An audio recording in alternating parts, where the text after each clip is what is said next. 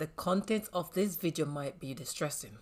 A woman who was punched 107 times, kicked 85 times, and stabbed 28 times married her abuser. Welcome to AI Abuse Insights, where we hope and grow through action by doing something positively each day to impact people's lives.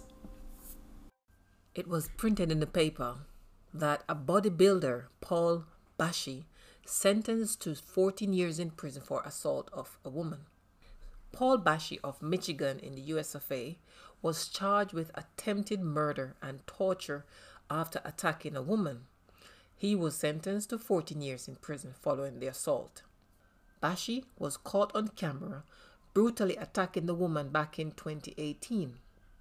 He was arrested and charged with attempted murder and torture, and he had no choice but to plead guilty. Get this his attorney had requested for a new judge and prosecutor, claiming that the judge was biased simply because the accused man develops some health issues which he tried to use for a plea bargain. But the judge was not having it. I love this judge. I don't doubt for a minute that you're not the same person that was in that house and on that porch on that particular day some three years ago. Despite all your issues, you are not the victim in this case. You're not, despite everything we heard here today. It is the people, the state of Michigan, that brought this case. You are not. I know you've been the focus, but you're not the victim in this case, said the judge.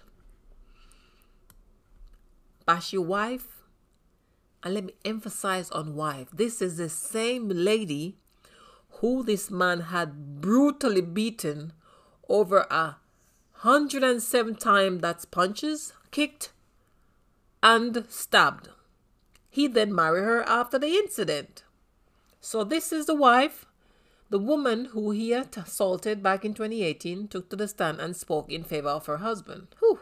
She claimed that the bodybuilder, which is now her husband, slash her abuser has changed and has been taking the proper steps of recovery. My gosh. She said, I quote, the court has only seen the bad side of Paul, that's the abuser. Since he's been released, every day he shows me he he's a changed man. Mm-hmm. He realizes his mistake and has changed for the better. Really. He goes to counseling, anger management classes, and domestic violence all on his own. You sure he's going there? Said the victim. I agree that he might not be the same person, but still, his sentence was handed down and so he deserved. Despite his wife's plea, the prosecutor went over the details of the attack and just how disturbing it was. And I repeat what this man did to his now wife, the victim. He has punched her 107 times, kicked her 85 times, and with four different knives stabbed her 28 times.